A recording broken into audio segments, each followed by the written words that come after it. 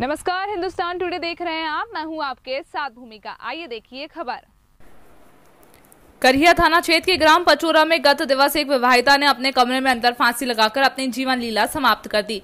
घटना की जानकारी लगते ही मौके पर पहुँची पुलिस ने शव को सुपुर्दगी पंचनामा बनाया और शव को पीएम के लिए भिजवाया। शुक्रवार को मृतिका के शव का पीएम कराकर परिजनों को सुपुत्र कर दिया और मर्ग कायम कर जाँच में लिया। विवाहिता ने कदम क्यों उठाया है, इसका भी खुलासा नहीं हो सका है।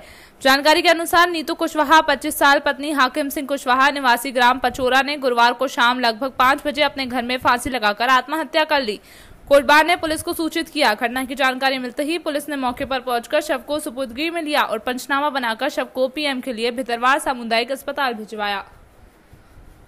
भितरवार से संवाददाता कमल साहू की रिपोर्ट। आपका नाम क्या था मेरा नाम साहिब राजू कुमार शर्मा। अच्छा जी पचौरा गाँव में एक महिला ने फांसी वासी लगाई है उसमें थोड़ा आप बताएँ और कोटवा द्वारा सूचना दी कि पचौरा गाँव में एक कुशवा परिवार की महिला ने फांसी लगा दी है। हाँ।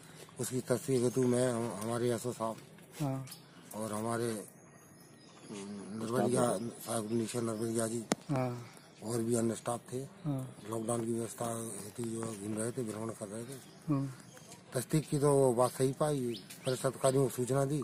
एफ़ डॉक्टर साहब को सूचना दी तहसीलदार महोदय को सूचना दी तहसीलदार महोदय मौके पधारे हम्म, और मृतका का मृतका का जो है क्या बोलते हैं महिला आरक्षक द्वारा हम्म।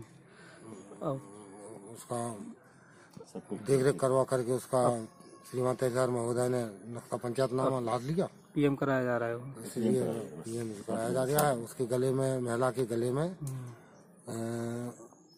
फांसी जैसे जो है क्या बोलते दबे हुए थे निशान उसमें इसके ठीक। पीएम की रिपोर्ट प्राप्त होने पर जैसा पीएम में आएगा कार्रवाई होगी ठीक।